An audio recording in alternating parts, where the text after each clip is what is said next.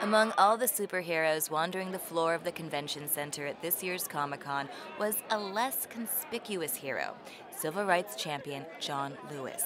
Hundreds lined up to have him sign copies of his new autobiography, March.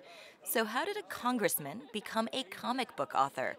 It began with a young man who was working on the congressman's 2008 reelection campaign.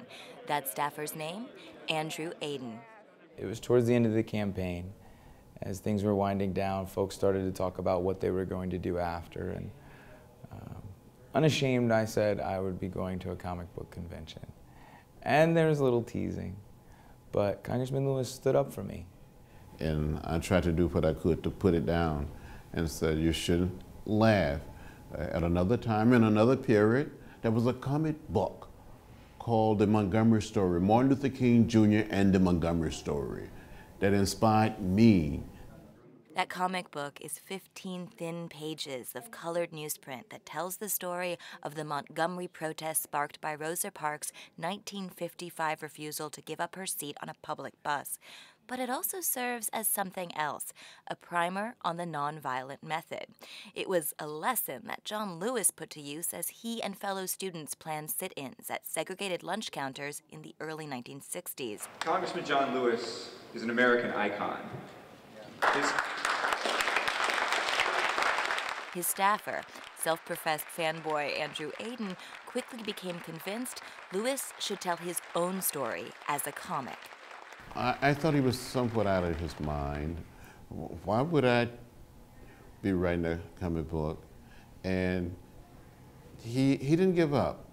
He didn't give in. He was persistent. And he came back and said, Congressman, let's write a comic book. And uh, I do remember reading the Montgomery Story comic book. And I said, yes, if you would do it with me. And it's it been a, a, a labor of love.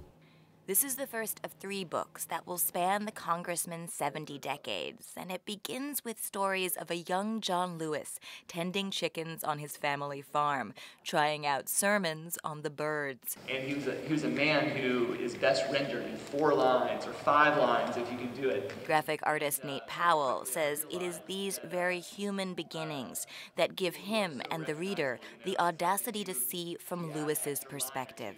There were certain moments, free of context, where I feel I felt like I could simply slip into his shoes for that moment, and I knew precisely what it was like to witness, you know, the baptism of these chickens, the loss of a, a beloved hen down a well, um, the hiding under the porch so that he could sneak away from his house in order to get an education each day and hop on the bus with his mom chasing after him.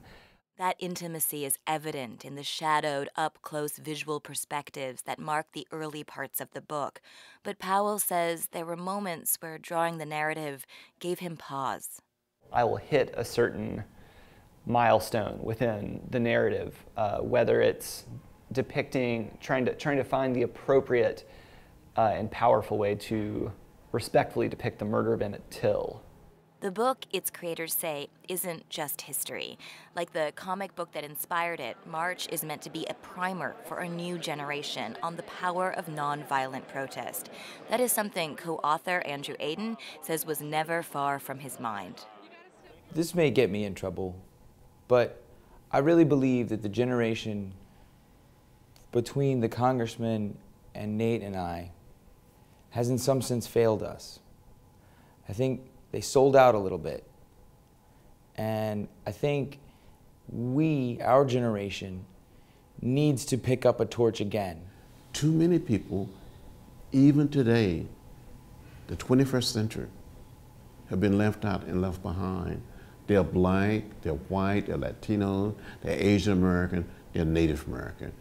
And the book is trying to say that we all must continue to be restless Lewis says that in the age of Trayvon Martin and the recent Supreme Court decision on voting rights, young people need to find a way to connect to the greater struggle for civil rights. I remember hearing Martin Luther King Jr. preach from time to time, and his father would be in the pulpit, and he would say, Son, make it plain, make it plain. So between Nate and Andrew, they made it plain. As plain as a picture. Sandhya Dirks, KPBS News.